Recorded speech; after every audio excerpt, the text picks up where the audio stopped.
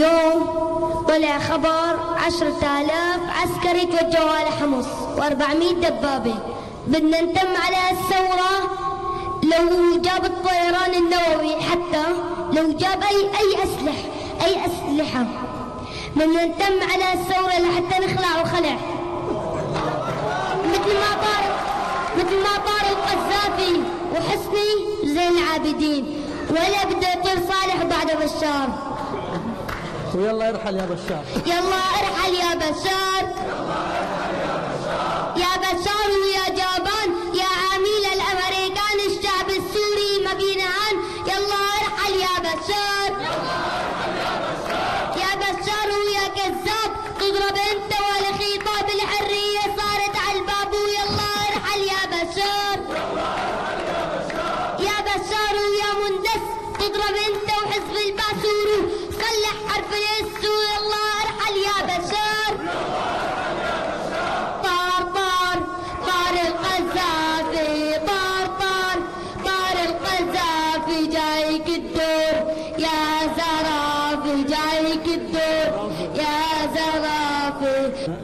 نبي نبي نسمع طز فيك يا بشار. ولا اله الا الله ولا اسد عدو الله ولا اسد عدو الله ولا اله الا الله والشاهد حبيب الله ويا لله يا لله قلال المنصب لا للجاه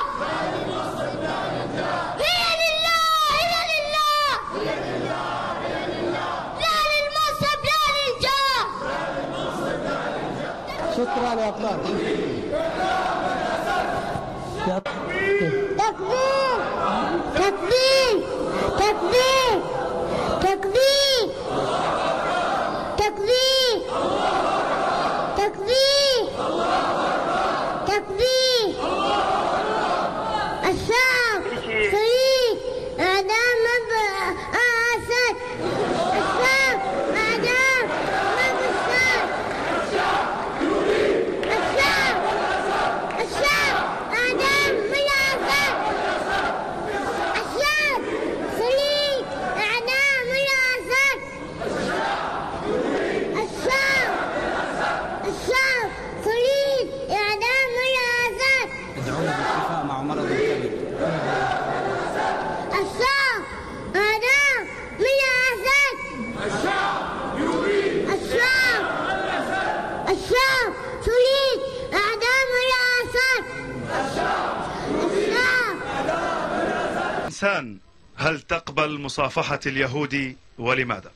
طبعا لا أقبل مصافحة اليهودي سبب ديني وسبب آه، اللي اللي بيصير هلا أنه من فلسطين واسباب كثير يعني ما- ما بتسمح لي إني أصافح اليهودي.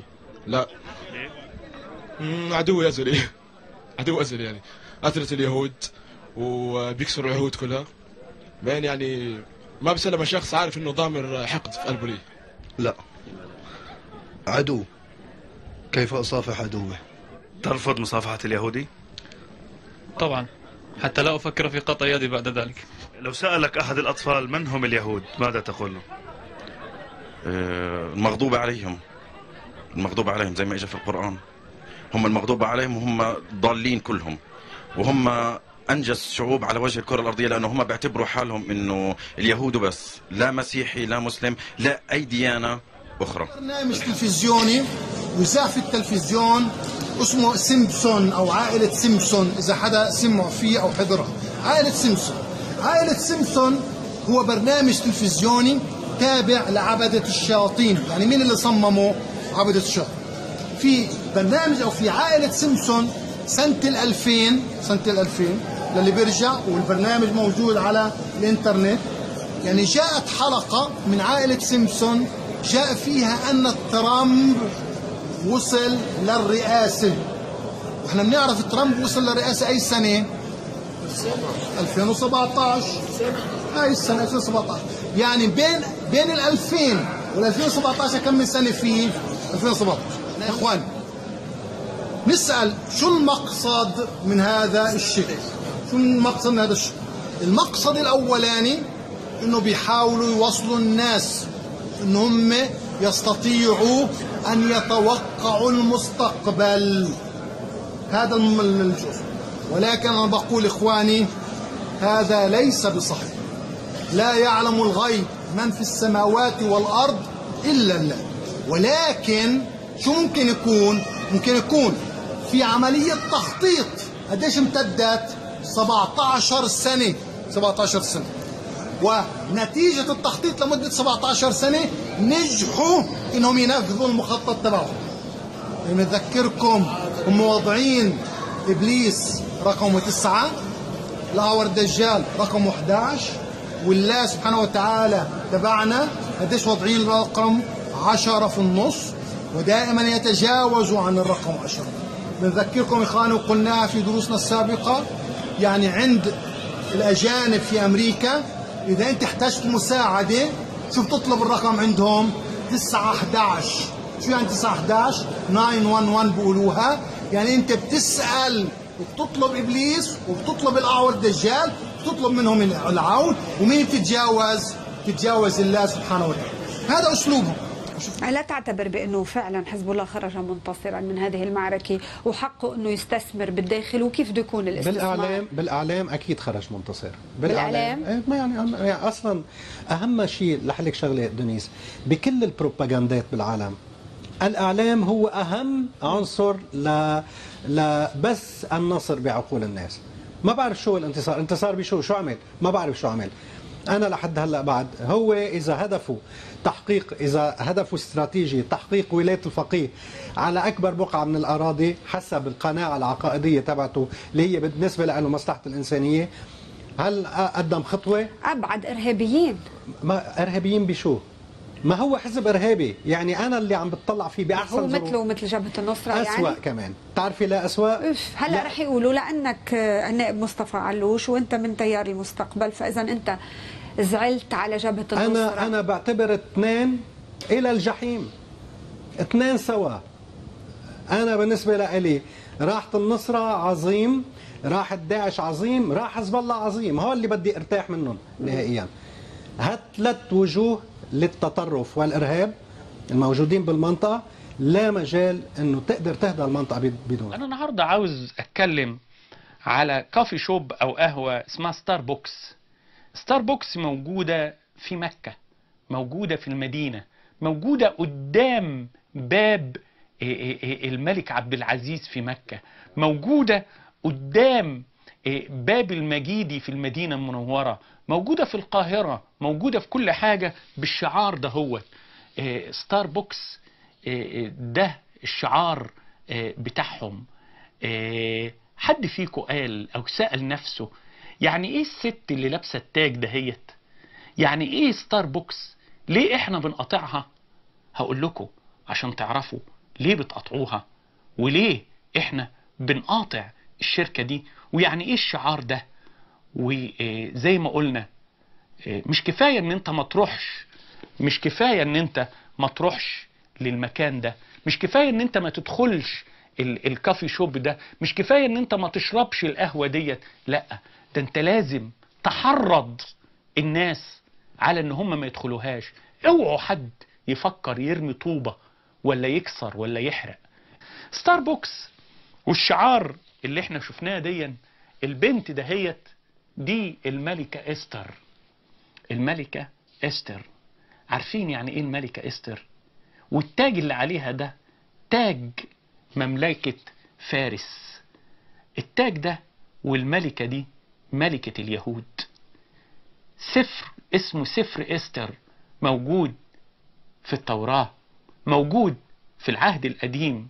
سفر إستر هي ديت هي البنت ديت اللي أنتوا شايفينها ديت الملكة إستر ملكة اليهود في فارس. الملك نادى في البلاد إن أجمل سبع بنات يوصلوا له وفعلا عملوا مسابقات وتصفيات واختاروا أجمل سبع بنات عذارى أبكار وكان منهم إستر اليهودية.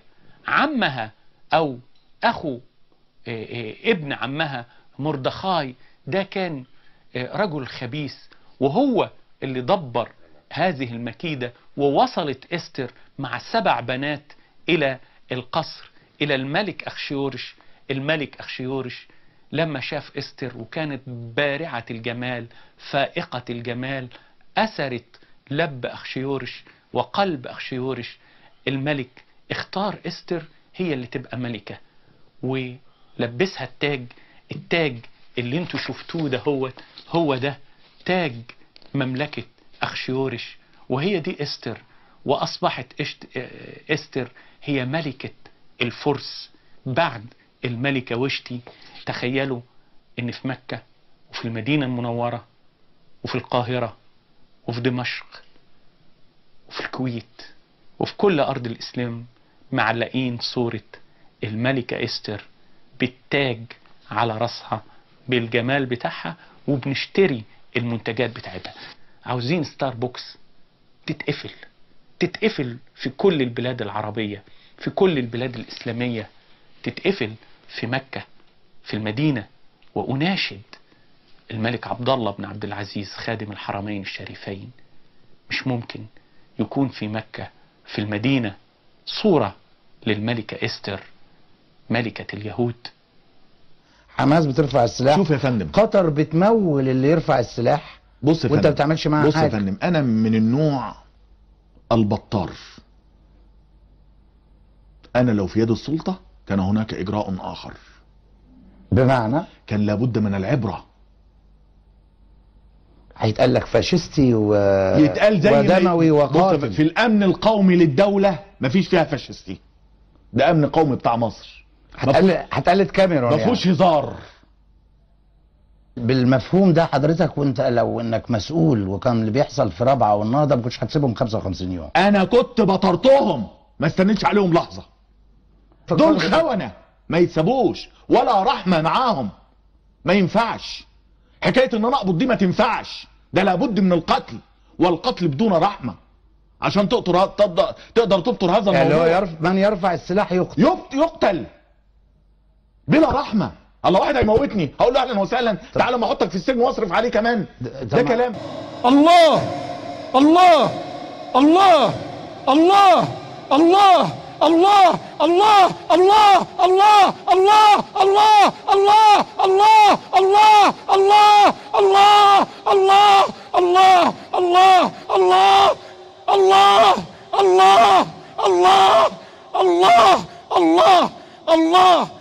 الله الله الله الله الله الله الله الله الله الله الله الله الله الله الله الله الله الله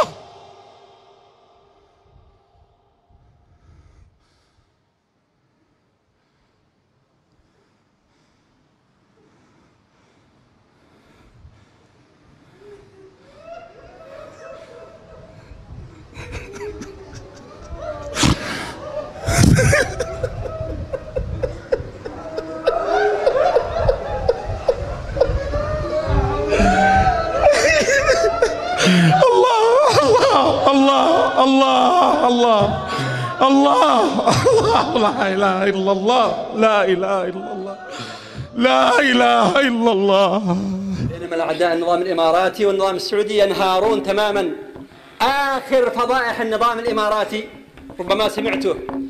آخر فضائح النظام الإماراتي وقراراته الخبيثة اليهودية بل أفظع من اليهودية أن يبيح الشذوذ الجنسي حتى في الأماكن العامة. يعني اللواط صانكم الله يبيحه. سهل. امسك لك ولد في الشارع وابرز بفيشك ما ودكم. ولا القانون يلاحقك ولا شيء. آخر فضائح النظام الاماراتي أن يبيح أن الشذوذ الجنسي ولو في الأماكن العامة. ولو في الأماكن. آخر فضائح أيضا قبل أيام يتبادل دولة الإمارات والنظام الصهيوني الكيان الصهيوني يتبادلوا البغايا وصانكم الله. استغفر الله من هذا الكلام في هذا المقام لكن للتوضيح. يعني عاهرات إماراتيات مدري إيش أصلهم؟ سلموهم لاسرائيل وعاهرات يهوديات سلموهم الإمارات. تبادل على مستوى الزنا. شفتوا كيف الولاء اليهود؟ هذا ولاء اليهود. اللي بيسمون بلا بيسموه التطبيع. تطبيع لكن هو ولاء حصيرا أنت رفعت دعوة أنا وعايز تحبس وزير الداخلية ورئيس الحكومة؟ آه طبعا. ليه؟ الاثنين الاثنين آه. لأن الحكم صدر ضده. امم حكم إيه بقى؟ الحكم كانوا إخوة أفاضل من إحنا كنا أنا كنت بعت إنذار بإلغاء الاحتفال بابو حصير. آه. لأنه زي ما قلت حضرتك قصة طويلة وهو أصلا يهودي مغربي ملوش علاقة بال ولا شيخ ولا ولا أثر ولا ليه علاقة بالكلام ده. فالإخوة الافاضل في اسكندرية قالوا لا بدل ما تبعت انذار يا وحش إحنا هنعمل قضية وتتدخل فيه فإخوة أفاضل أساتذة محامين في اسكندرية رفع قضية وجات قدام راجل محترم اسمه المستشار محمد الدكتور محمد عبد الوهاب خفاجي اللي راضع من سرسوب الوطنية. فقال لهم أنتوا ليه تمنعوا الاحتفال؟ ما تصحوا شكل الدعوة ونزيل القبر ده ونخلص من خلقته.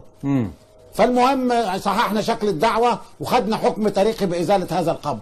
بإزالته. يا سلام. آه طبعا. آه طبعا. طب ده هو مش أثر يا أستاذ نبيل؟ لا مش أثر. ده الزل رجال فاروق حسني اللي خلاه أثر. مع احترام الجزمته السوداء والبني. وده أكبر غلطة عملها زين الرجال لأنه كانت ليه ميول صهيونية وأنا على مسؤوليتي. بقول لك إحنا بنتعامل بمنطق القبيلة وليس بمنطق الدولة. طب إيه رأيك يا أستاذ نبيل يا محترم في إنه إسرائيل اتعاملت بمنطق الدولة في موضوع الهولوكوست الوهمي وفضت بنوك ألمانيا؟ لا مش وهمي. دوله بالتعويضات مش وهمي. مش وهم كمان؟ لا، تاني. شكرا. وكده أنت ضد الساميه شكرا. أنا ضد الساميه طبعا. طبعا. وأنا أنا فخور اني ضد الساميه لا، دي جريمة وأنا بقولها. عالمي. آه. أنا ضد الساميه آه، لا. ادي واحد. دي تسجل عليه. اما تسجل. قصد في إسرائيل. قصد في الكيان الصهيوني. ده مش إسرائيل ده قانون لا استمر ده قانون دولي. يا بيه هو. دولي. ده اتفاقية يا انت ما تهددنيش انت ولا مش أنا اللي بهددك. يا بيه لا ما تهددنيش. بقى- بقى- أنا عايز إسرائيل هشوفها هقتله. أنا بس بنبهك خلاص خلصت. ده أنا أحسن من أحسن من اللي بتقول عليه. في دعوة للقتل يا بيه أنا دعوة للقتل أنا. للقتل. اسرائيلي هشوفه هقتله أنا شخصيا نبيل لا لا لا. بس ما حطيت على وشها كفين ثلاثة قوم من أمري جيبي شو اسمه كباية مي لعند آه، الرجال تبعك. هيدي وين تنصرف كلمة ما بدها. ما بدها. إذا ما بدها. إيه. بغتصبها كيف يعني بتختصر بالقوة. شو بتختصر بالعنف. شو يعني بتختصر بعنفها بعنفها. ما بدها. وأنا رغبتي وين بتروح؟ تنطر. ما فيني أنطر. The many miles we walk, the many things we learn, the building of a shrine